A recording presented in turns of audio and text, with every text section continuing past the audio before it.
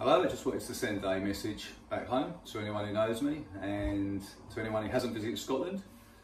And this short film is the reason why I love this country so much and why I live here. To fly my drone, to make films and visit great places like this.